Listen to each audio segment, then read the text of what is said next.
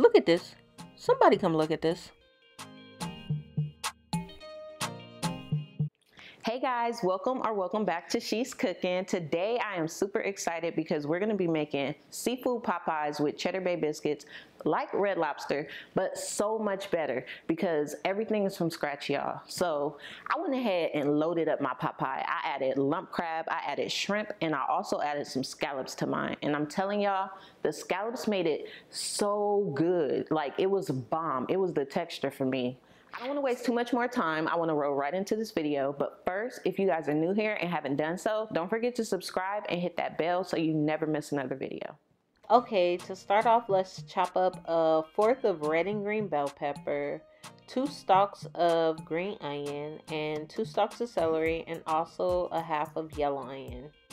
So I went to Costco and got like a 16 ounce lump crab, and then I went ahead and squeezed half of a lemon on top of it because y'all know lump crab and lemon juice makes it so much more better. So let's go ahead and add our shrimp in and you want to go ahead and season it up so you don't have to season it separately. You're going to add in a teaspoon of Old Bay seasoning, one packet of the Goya seasoning,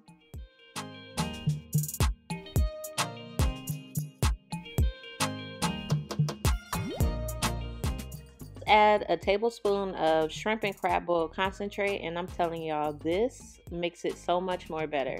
So you're going to mix it in, but be sure to use a glove or something because this can irritate your skin.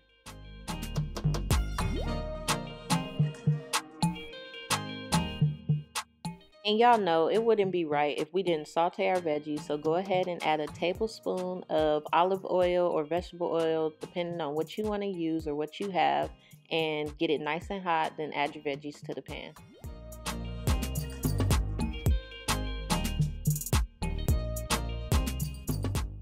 So now let's add a mixture of green beans, peas, corns, and carrots. I got this bag from Costco. It came all together, but if you want a smaller bag, you can find it at your local grocery store.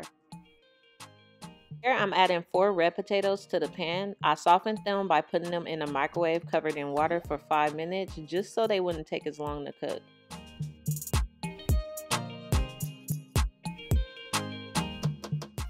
Add in a half a stick of unsalted butter and let that melt. So to make the soup mixture, we're going to go ahead and add in two cups of chicken broth. Add a cup of heavy whipping cream and mix it in and you want to let this cook for about three minutes.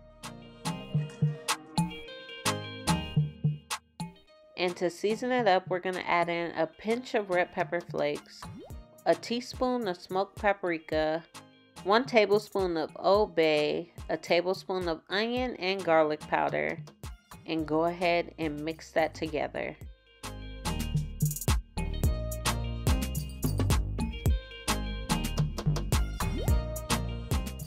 So here we'll be adding the seafood in and you want to cook this for about 5 to 10 minutes and you want to wait until your shrimp turns like that pinkish reddish color and don't worry if you don't think that your seafood is all the way done cooking because we will be putting this in the oven. Now I'm adding in my scallops, which don't be like me, y'all. I could have just added it all in together when I added in the shrimp and the lump crab. Now to thicken our sauce, go ahead and add in two tablespoons of flour and mix it together. You want to make sure you mix all of that flour in so you don't get any of the flour taste. I'm adding in a 10 ounce can of cream of mushroom soup because not only will it make it thicker, but that flavor, baby, let me just tell y'all, it's bomb. So that's what it looks like just in case y'all want to get some. It's completely optional and up to y'all.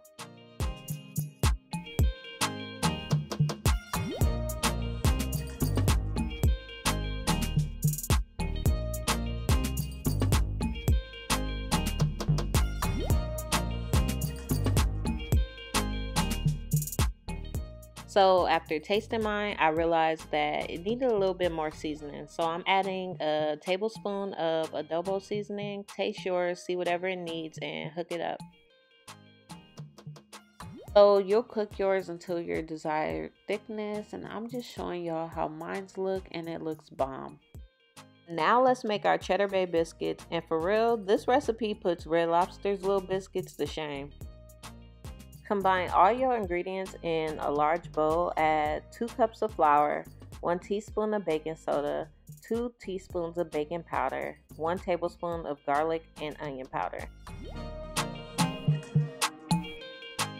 Add one cup of cheddar cheese and I use sharp cheddar. Add in 1 4th cup of fresh parsley and also add in 1 stick of cold sliced unsalted butter.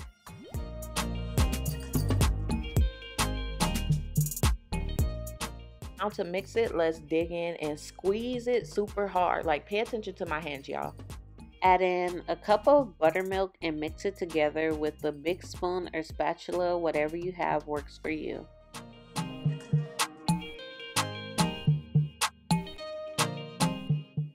I used the cast iron skillet and to oil it, I went ahead and did one tablespoon of olive oil and spread it with a paper towel all over.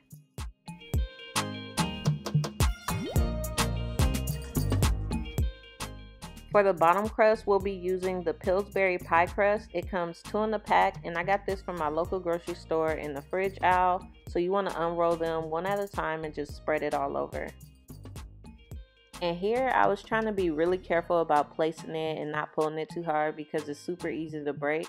But the thing about dough is you can always put it back together and form it any type of way you want. So don't worry if it breaks apart. Using a fork, go ahead and stick holes all over the bottom.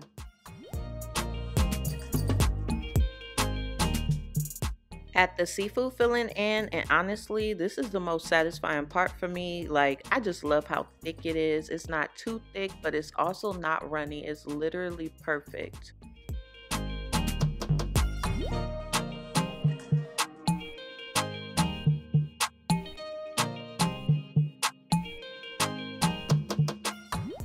So to form the biscuits, you want to roll them in your hand into a ball form and then you're going to place them all over the pie crust. I was able to make 10 biscuits out of this mixture, so it'll definitely be enough and it'll cover.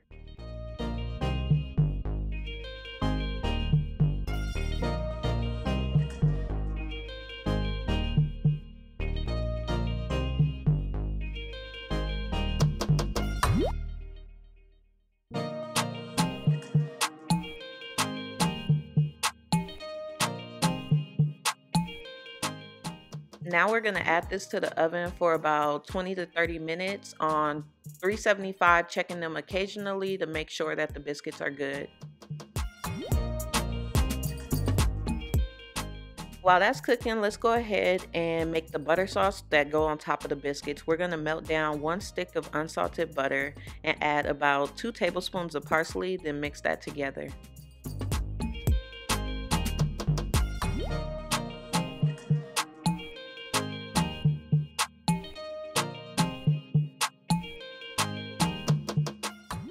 Add your butter sauce to the biscuits, and now my mouth is watering. Like, for real, y'all. I know y'all ready to dig in, but let it sit for 15 to 20 minutes after you take it out of the oven, and then you can enjoy it. And if you guys like this video, don't forget to thumb it up and comment down below. Subscribe and hit that bell if you haven't done so. Never miss another video.